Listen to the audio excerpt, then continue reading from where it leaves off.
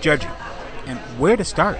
So we have five categories um, value, uh, green, technology, adventure, and luxury. So you'll drive all of the cars from one, and then you can, and then you'll move on to another category. So now it's time to grab the rating sheets. You need when they, we assign the vehicles.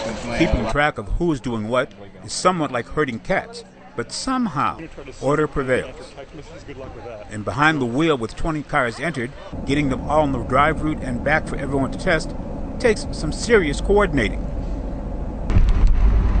We look for acceleration, fuel efficiency, interior noise, and functionality. With bragging rights at stake, manufacturers' reps are always available to point out the newest and coolest features. With all the safety features like the lane departure warning, the forward collision warning, there's buttons where you can turn it off if you don't like it, but it's here and there for the people that do want to use it. Then it's time to do more driving and evaluating. As for the winners, well, check out the GAAMA website at www.gaama.org. And we get to do this all over again next year. This is Greg Morrison. We want to know what you think, so email us. The address is bumper to bumper TV at cs.com.